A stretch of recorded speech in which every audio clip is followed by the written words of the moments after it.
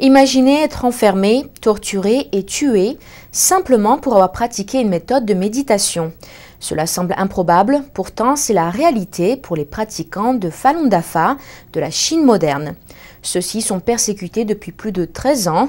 Cela a attiré l'attention d'un jeune professeur australien qui, à l'âge de 18 ans, s'est rendu en Chine pour pouvoir mieux dénoncer ces crimes. Voici son témoignage. Selon un ancien dicton chinois, il est difficile de comprendre une personne sans avoir marché un moment dans ses chaussures. Ils n'ont pas la liberté de penser pour eux-mêmes. Oliver Perret était au lycée lorsqu'il a entendu parler de la méthode de méditation chinoise appelée Falun Gong. Cette découverte l'a emmené de sa petite ferme dans la campagne australienne vers la plus grande nation du monde, la Chine.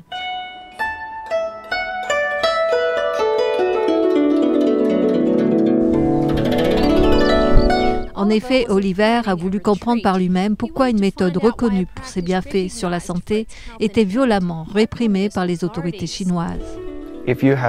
Si vous avez la liberté de penser une fois plus forte que votre appartenance au Parti communiste, ils voient cela comme une menace.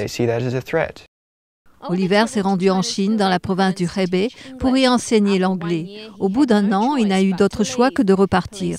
Des policiers l'ont interrogé toute la nuit et l'ont menacé de mauvaises choses s'il n'arrêtait pas de participer aux activités du Falun Gong. Comme les nazis en Allemagne, ils poursuivent tout le monde. Ce n'est pas un nettoyage ethnique, mais ils essayent de briser votre foi parce que le Parti communiste a besoin de contrôler l'esprit des gens. Oliver a pu sentir un esprit de peur planer sur la Chine. Un jour, il y a eu une exécution publique tout près de son école. Les étudiants ont été obligés d'y assister, tandis que des responsables ont essayé d'empêcher Oliver d'entendre parler de cette exécution parce qu'il est occidental. J'ai enseigné en Chine dès leur plus jeune âge. On leur apprend qu'ils doivent aimer le Parti communiste plus que leurs parents, et que s'ils n'aiment pas le parti, c'est qu'ils n'aiment pas la Chine et ils ne sont pas patriotes. On leur lave le cerveau.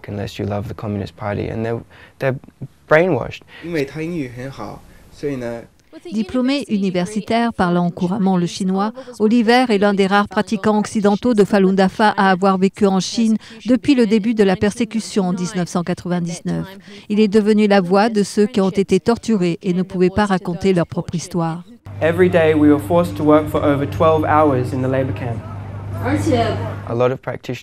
Beaucoup de pratiquants de Falun Gong racontent qu'ils ont été électrocutés avec des matraques à haut voltage.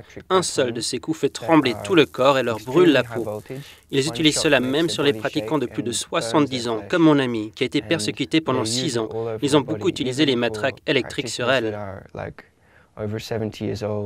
Les amis d'Oliver ne sont que quelques pratiquants de Falun Gong qui ont souffert sous le régime chinois. Selon le Centre d'information du Falun Dafa, plus de 80 000 cas de torture ont été enregistrés et plus de 3 500 cas de décès ont été confirmés. Pour mieux comprendre pourquoi le Parti communiste chinois persécute le Falun Gong, il faut revoir le contexte historique. La Chine arbore une civilisation datant de plus de 5000 ans dont les racines bouddhistes et taoïstes ont influencé la société. Lorsque le Falun Gong a gagné en popularité dans les années 90, c'était en fait la manifestation d'une renaissance de ces valeurs culturelles marquées de tradition, une culture que les communistes se sont efforcés de détruire en l'espace d'un demi-siècle. Ces neuf dernières années, Oliver a passé du temps entre les États-Unis et l'Asie. Lors d'un séjour de deux ans à Hong Kong, il était si épuisé d'avoir passé des heures et des heures dans les rues pour informer les gens sur la persécution que lorsqu'il est rentré en Australie, il s'est presque écroulé de fatigue.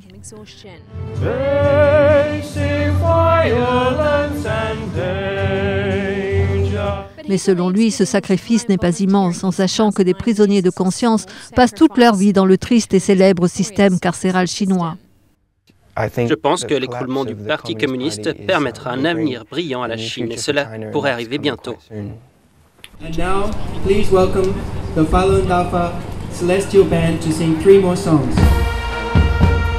Oliver espère que tôt ou tard, le peuple chinois retrouvera sa liberté.